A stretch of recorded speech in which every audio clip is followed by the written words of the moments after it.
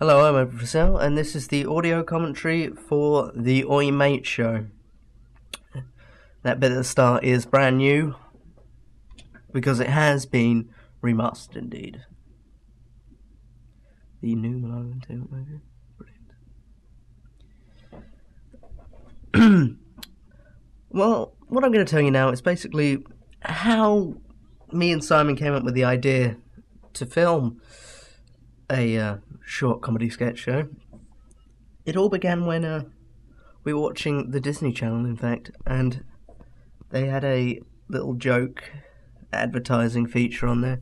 We decided, you know what, most of our films are quite serious, and we never do anything fun, which me and Simon are mostly like. We like to do com- comedy and stuff.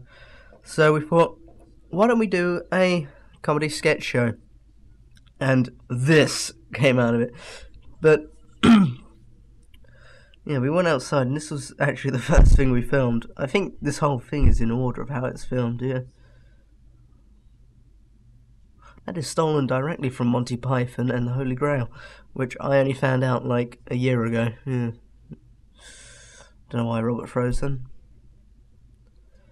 So Simon is off screen here, and he didn't know that I was doing a take, hence the realistic response there.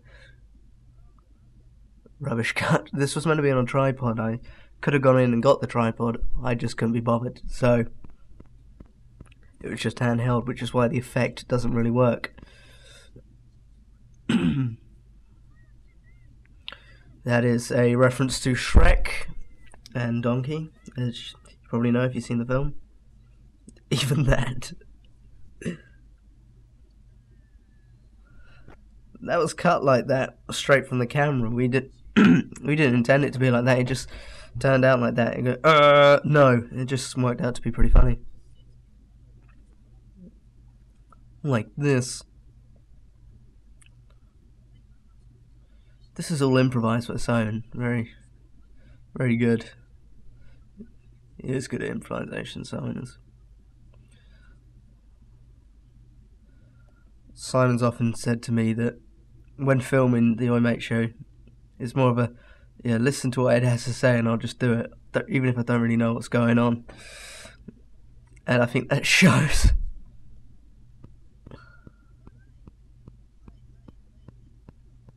yeah, I do say like "oi mate" about four times. Then yeah, hence the name of the show. Brilliant. Yeah, the crap robber.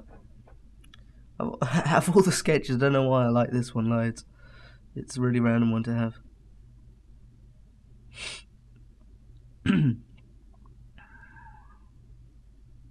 Five hours later. Oh dear. This is my living room, yeah. My, well, my old TV, yeah. Oh, I missed that. In no way. Ah.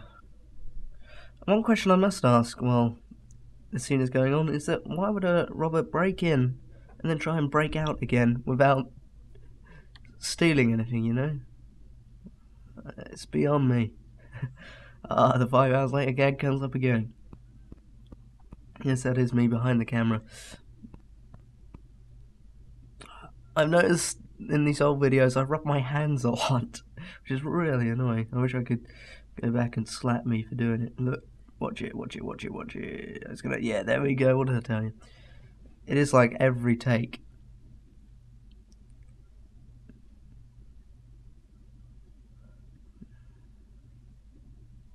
Yep, there I am. I am doubling up. Look at that. Look at that.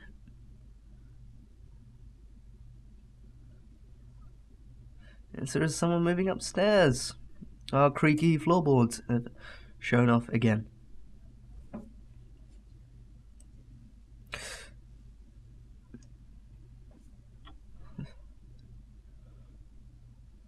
This guy actually wants him to rob him, which is odd.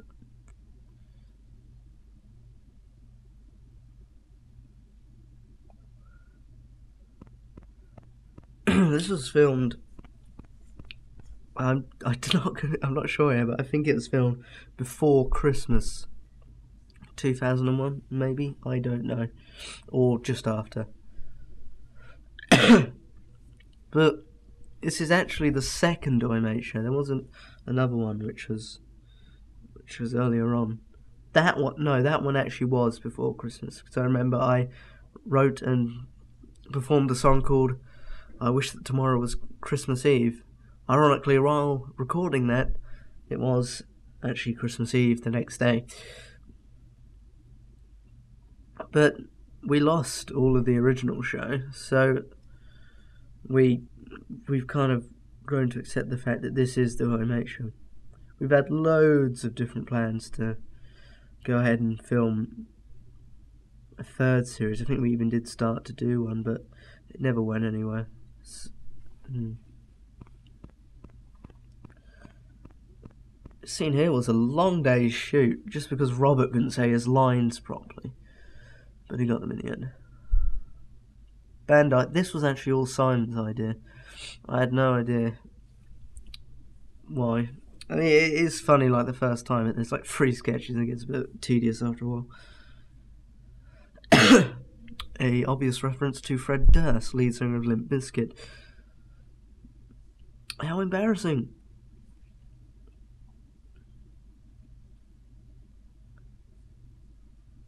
I bet it is.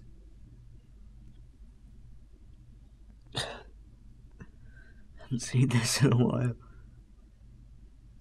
Can't believe this used to be my favourite song.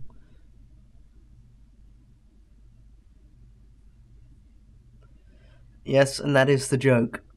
The fact that he is just bleeping out the words to a song. He's he's not actually singing, and it's clearly not him singing. He's just bleeping out the words. That has become an often quoted line, actually. I don't know why. Myself, myself, I like it. I like it a lot. I have no idea why. It's not a funny line. It's not good. It's rubbish. I realise how much in this scene Fred Durst acts like David Brent of The Office, and this was like filmed before I'd even seen The Office, and then I started getting references to the guy, which, although he is very funny, I was kind of annoyed by, you know. I don't like being referenced to different people. I like to be myself, you know.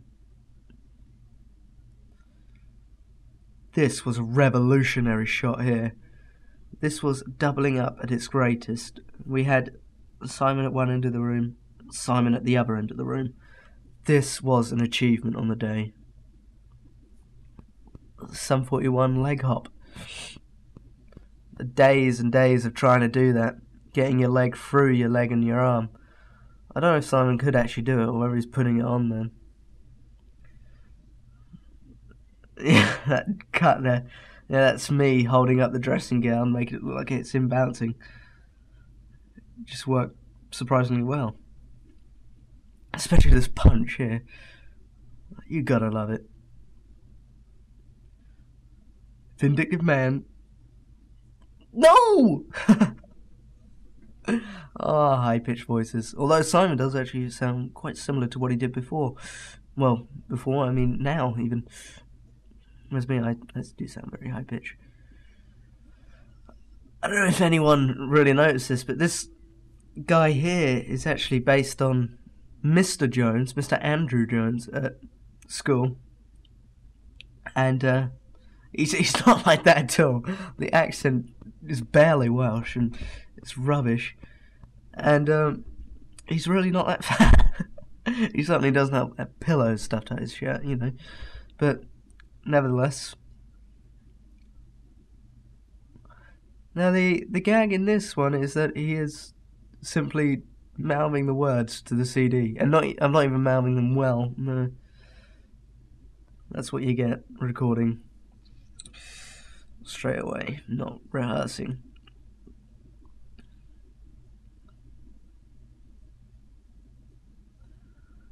That is my old room there, actually. I've changed it since. I'm actually in there now, yeah. It does look very, very different now and I'm glad because it looks awful. I do not like David Beckham anymore, nor do I like WWF wrestling.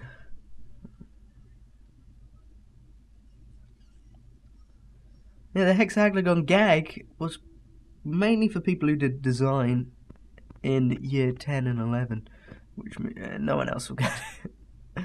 no. Billie Joe, the lead singer of Green Day, if I'm not mistaken. Yes, cued by the Green Day track. I think we have broken quite a lot of copyright laws here. Whoops.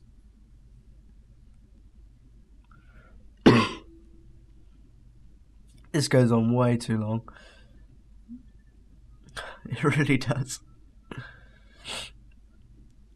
I can remember writing, oh good, a freak, while Simon was outside the room on the camera. And then I put it on, and it, when we watched it back later in the day, he was surprised by it. I'm not sure if he was pleased, but he certainly was surprised. And the gag here is that he's drinking whenever he's supposed to be singing. You know, it gets to the point, does it? it should have ended around now, but no. Thanks to uh, VHS editing, uh, we couldn't really edit as clean or as crisp as as we can now digitally. Given I could have, but you know, when you're remastering an old, I use the term classic um, loosely. yeah, when you're remastering a classic, uh, it tends to be that you want to keep it a classic. You don't want to change it too much, which is why Simon and I did do actually do some 2004 special editions, which is actually on the disc as well. But we decided that for the actual DVD, it would be better to just go with the original. I think so. so. Yeah, I actually used a tripod this time. You'll notice that it looks surprisingly better. And think of a trick. That was just meant to be random. It doesn't have any point. Just so I could cue that reaction from me. Rugby, he says. He says rugby, yeah. Volvo! Why? oh, we were so young. Brackets two years ago. you can see him flinch before the ball hits him. Terrible. We couldn't have did another take, could we? No. They're not famous.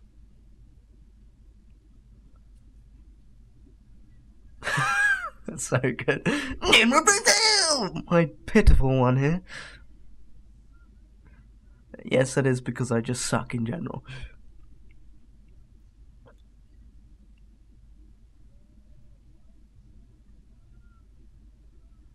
Yep, indeed they are.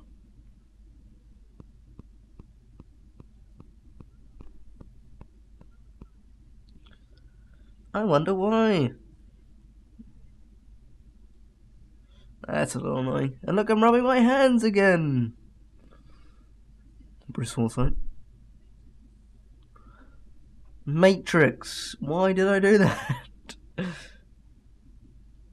a big drip on the screen now. It wasn't. I don't know why we did this. I like to believe that it was Simon who came up with this, not me. I had nothing to do with this. Seriously, good luck. Oh, VHS freeze! You gotta have it.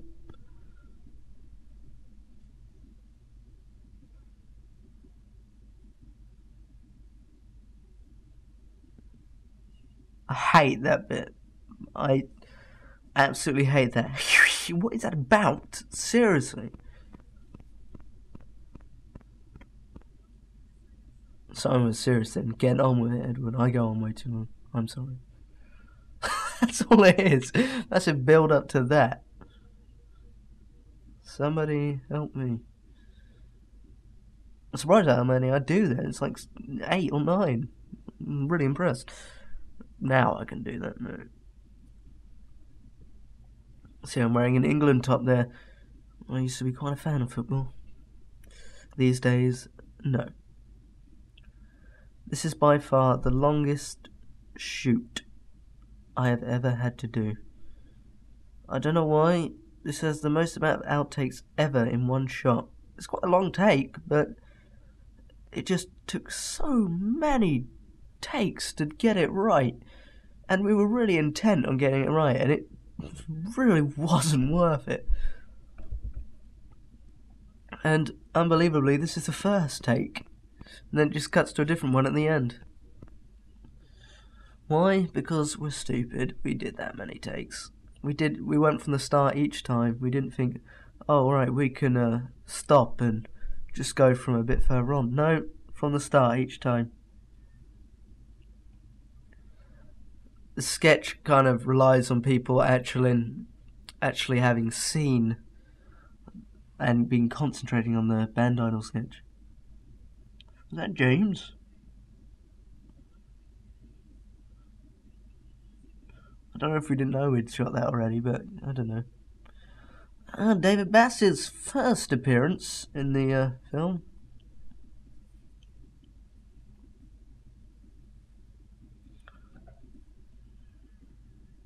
We tried to do the uh, no again, but with uh, Pratt. Didn't work. Fanzone 6, this was such a dumb idea. This was from me thinking, yeah, let's make a like a show like Top of the Pops. But let's um let's do it with rock stars on it and whatever. so I'm presenting it and I was Fred Durst doing a crossover sketch and I performed one of Limp Bizkit's songs. I actually did perform it, however, in this video, it is removed, and it is removed from all versions, apart from the version I have, which no one will see.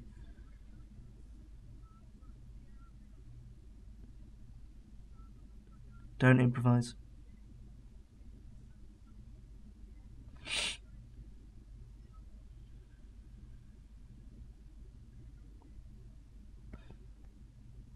Please adjust your television set. That's the only thing I think I've added over the footage. I haven't added a lot, but that I did add. Just because people would be like, what was that all about? But yeah.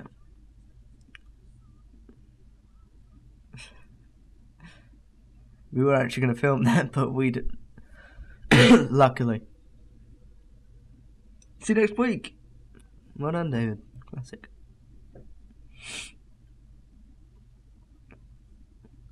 This actually leads on from the, one of the deleted scenes.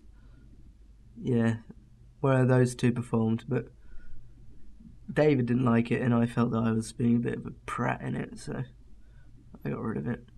Last minute, of course.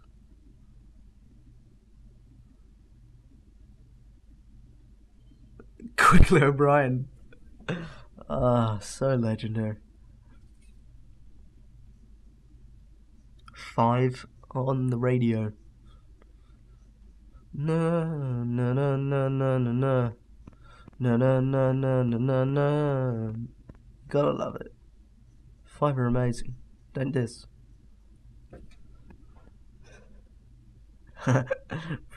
Seriously. The most famous sketch in the whole piece. George guy. My favourite for a long time. I watched it too much, so it's a bit tiresome now, but it is a classic. Dude.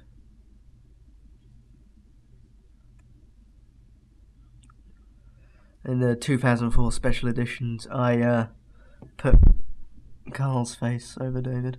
Well, I didn't. Simon did just because we had an argument and we fell out. But we've since made amendments and we have been allowed to use his face and voice again.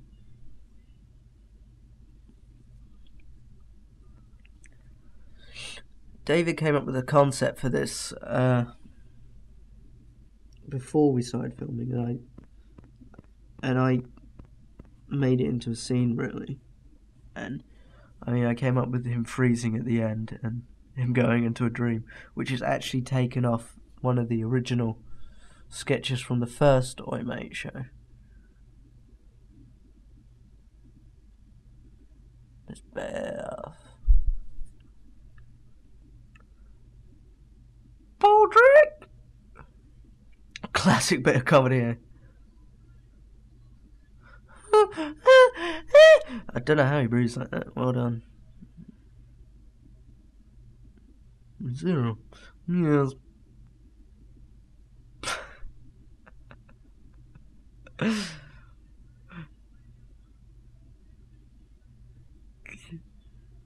I mean, man. Yeah, my cameo appearance in the scene.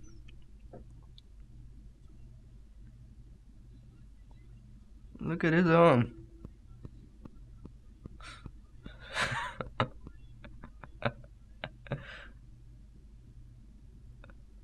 White, my lord. Tacky. That's in costume. well, no time actually, but still, he looks the part.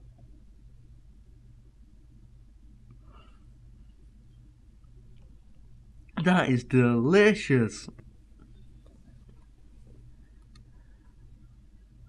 Oh.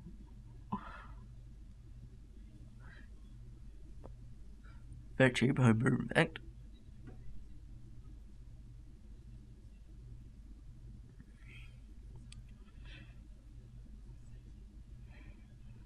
Your, your dad section with me.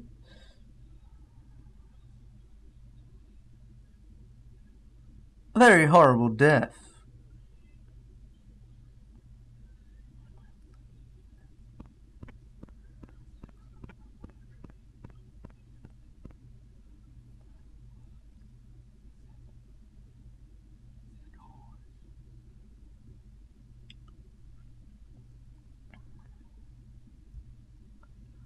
Really?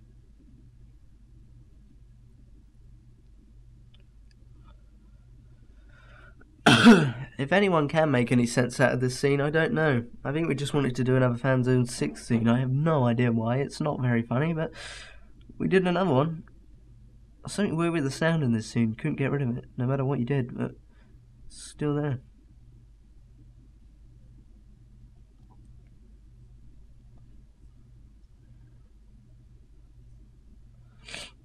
Brett. Daniel improvised most of this, which I'm quite surprised about. Well done.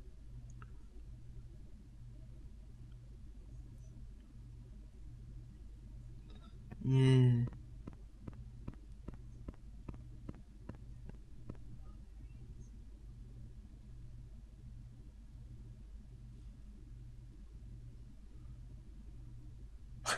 There's a door there, Pete. I'm sure Daniel does regret that now quite a lot.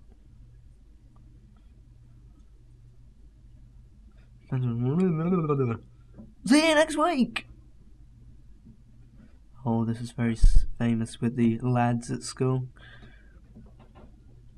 And James not playing a guard again, which he does in Agents of Destruction, only this time unmasked.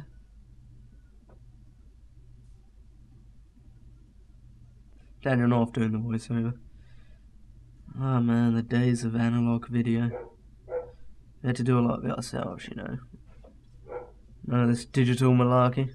High pitch, then to low pitch. That was a new digital editing technique I implemented.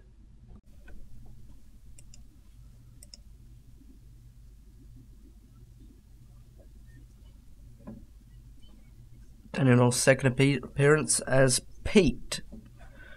This scene is overlong and it goes a bit too far. I think I don't really like this scene.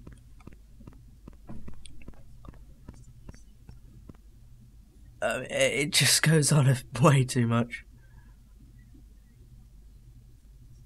Are you? Seriously.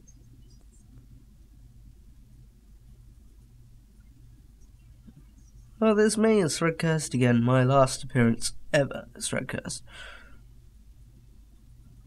Is that Hoover in the background by the sound of it?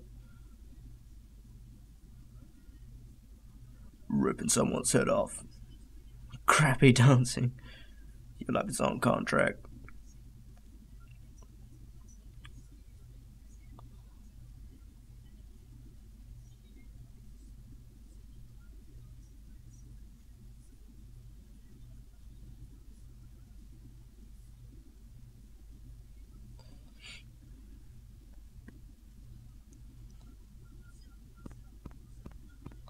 I said it again because it was so popular with the guys. Rat. Oh, Pratt this. This musical score at the end. Yeah, please do not ask me why I did this.